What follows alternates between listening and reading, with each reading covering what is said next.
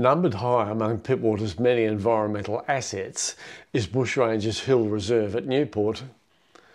It's not Newport's highest land, Bilgola Plateau is about 50 metres higher, but Bushrangers Hill is distinctive. The first historical reference to Bushrangers Hill was by Surgeon John White, who accompanied Governor Phillip on an expedition to Barrenjoey in August 1788. On the 24th of August, he wrote, we returned by the same passage along the coast until we came to a convenient spot to encamp for the night, where there was a great plenty of cabbage trees and tolerable water. This was at Newport, undoubtedly close to Palm Road, near today's community centre. White continues. While soup was making of some birds we had lately killed, which proved very good, and everything was getting ready for the night, the governor, the two other gentlemen, and myself took our guns and ascended a hill just above us. From this eminence we saw the southern branch of Broken Bay, which ran far into the country. White is referring to the southernmost end of Pittwater, to Newport, Bayview and Scotland Island. The Northern Beaches Council website offers the following. Bushrangers Hill Reserve occupies 0.29 hectares and is located above Bungan Beach. The coastal ridgeline reaches a dominating peak within the reserve, affording magnificent views of the coastline. Bushrangers Hill contains low open woodland and coastal heath and scrub communities, providing habitat for mammals and birds. The rock outcrops also provide shelter for reptiles. Well, that's a bit ho-hum. There's very little that's useful in that description, like an address. We have no more to go on than Governor Phillip and Surgeon White 236 years ago. You have to go to council mapping to discover the address, 26 Carlew Parade, Newport. Now I looked here about four years ago and was discouraged by the continuous manicured hedge, concluding that this access wasn't practical. But someone, probably council contractors, have more recently cut a hole through the hedge. Easy, right? Well, perhaps not so because it's steep going over loose building rubble. Clearly, it's just usable but it's also intimidating in more ways than one. The reserve is comprised of two battle axe blocks of land, with 26 Carlew Parade being one battle axe handle, which we just looked at, and 15 Bungan Head Road the other. So I'll now try the Bungan Head Road access shown on council mapping, which again lacks signage. Here we are faced with a maze of private driveways, some of them built over public land. Again, it is intimidating, but they have to be available to the public. And here is the reserve. At least we can have a look at it now. Bushrangers Hill is a small outcrop of 245 million year old Hawkesbury sandstone that was deposited in an extensive braided river which flowed across older lithic sandstones and shales of the Upper Newport Formation. The rock is well bedded and contains large cross-bedded dune sets. The outcrop is broken into large blocks along the joint planes. Individual blocks have separated, tilted and drifted apart, leaving open crevices and cave-like features. Separation of blocks this large and their slow movement downhill is the result of root wedging by generations of trees, particularly figs. From the get-go, Bushrangers Hill, though not the highest land, was an important vantage point, very likely visited by escaped convicts or bushrangers. What it offered was a clear view of the main track, the Newport Road. In 1861, Charles de Boos and a companion walked from Manly to Barrenjoey. De Boos describes a lengthy encounter with John Farrell II at Newport Beach. Farrell claimed knowledge of the supposed murder of Aboriginal Bowen Bungaree on Bushrangers Hill in 1853 by bushranger Casey.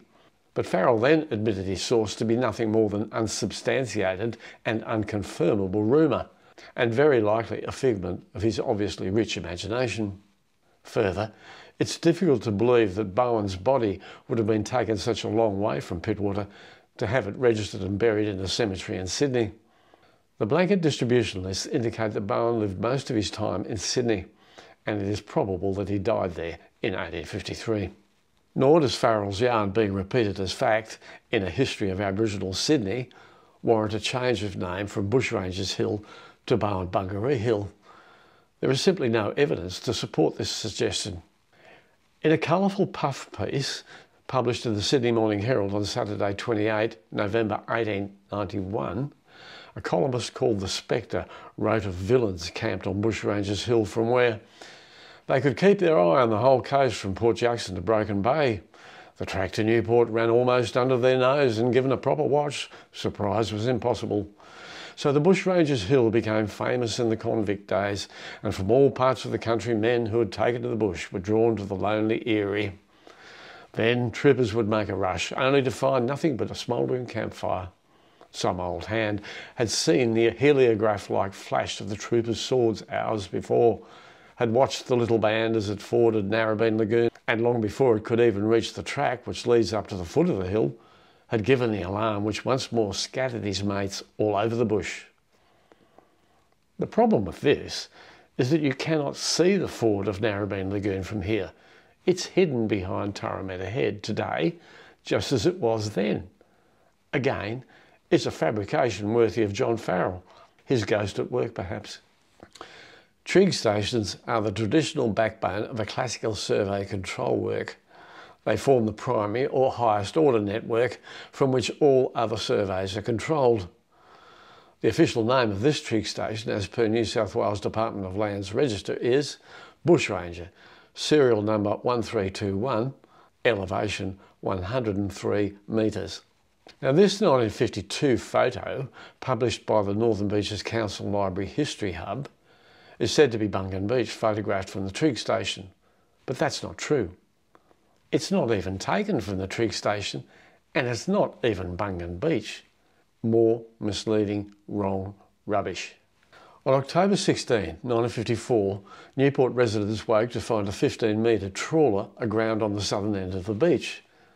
Now, I know this to be true because as a seven year old, I spent many happy hours trying to refloat this boat by digging a channel around it.